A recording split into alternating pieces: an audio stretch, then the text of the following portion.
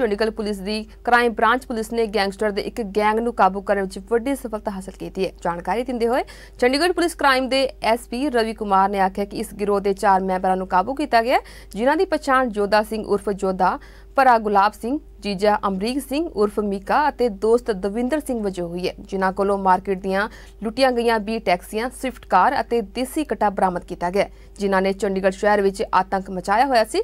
Police ਨੇ ਲੁੱਟ ਅਤੇ ਅਗਵਾ ਕਰਨ ਦੇ 6 ਕੇਸ ਸੁਲਝਾਉਣ ਦਾ ਦਾਅਵਾ ਵੀ ਕੀਤਾ ਹੈ।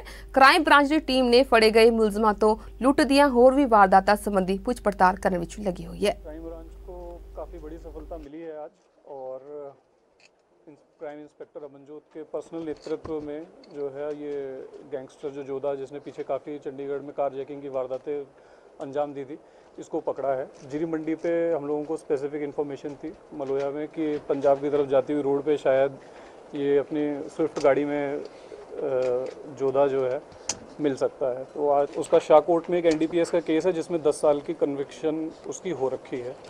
बाकी अरेस्ट चल रहा है। हमारे पास एक आई ट्वेंटी गाड़ी उनसे रिकवर हुई है और एक स्विफ्ट गाड़ी जिसमें ये पहले चल रहे वाइट स्विफ्ट वो रिकवर हुई है।